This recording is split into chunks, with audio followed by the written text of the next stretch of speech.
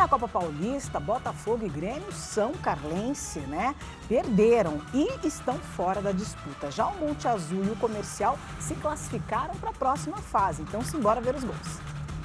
Em Piracicaba, o 15 pressionou desde o início contra o Grêmio São Carlense. Conseguiu abrir o placar com o gol contra de Claudemir.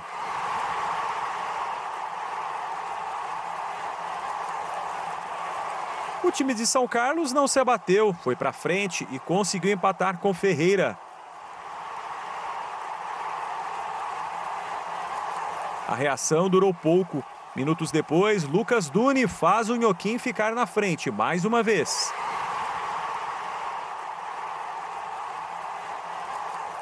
Veio o segundo tempo e o 15 queria mais. Serginho fez o terceiro. Os dois times até tiveram outras oportunidades, mas a partida terminou 15 de Piracicaba 3, Grêmio São Carlense desclassificado para a próxima fase 1. Foi a primeira Copa Paulista do Grêmio e com certeza não vai ser a última. Então a gente sabe que durante a competição a gente teve alguns acertos, alguns erros. Foi uma competição que o clube sempre quis para poder, poder participar, para poder estar tá trabalhando com os clubes grandes. É a oportunidade de você estar tá junto com clubes da Série A1, da Série A2, da Série A3. Então foi muito boa essa nossa primeira participação, no sentido de estar tá convivendo com todos esses clubes.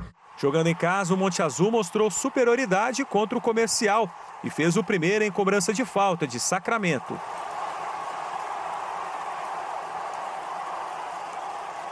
Ainda no primeiro tempo, o Pedrinho ampliou para o Azulão. Na segunda etapa, o Leão veio disposto a mudar a história da partida e logo no início o Valdo Bacabal diminuiu. O Avinegro de Ribeirão até estava melhor, criou chance, mas nada mais aconteceu. Final, Monte Azul classificado em primeiro lugar no grupo 2, Comercial na terceira colocação 1, um, mas também classificado para a próxima fase. O Botafogo começou com mais posse de bola, mas não manteve o ritmo.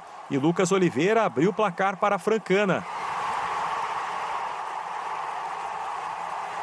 O Pantera tentou equilibrar o duelo, mas a veterana estava disposta a vencer o jogo. E Luiz Gustavo ampliou. O tricolor conseguiu diminuir a vantagem alguns minutos depois, com Pedro Severino.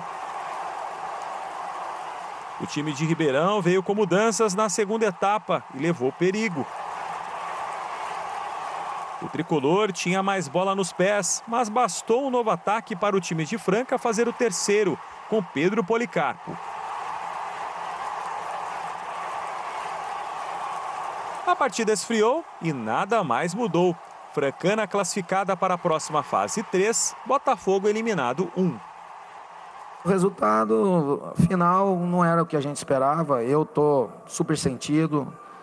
É, eu assumo a responsabilidade sem problema algum pelo resultado. Era eu que estava ali, né, no comando da equipe. É, levantar a cabeça. Né, nós temos uma série B que era o que é o principal objetivo do clube, né? É fazer uma série B segura, fazer uma série B onde a gente possa alcançar resultados é, importantes. E agora é focar nessa questão da Série B. Peço desculpa ao torcedor,